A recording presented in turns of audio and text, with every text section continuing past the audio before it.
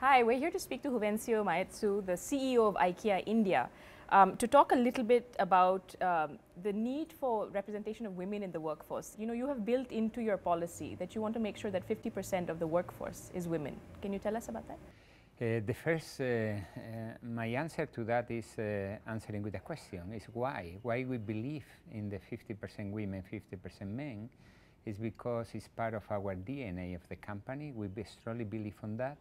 And we have a strong culture and made of uh, eight values. And the first one is togetherness. And it clearly says that we believe in diversity, inclusion, and equality.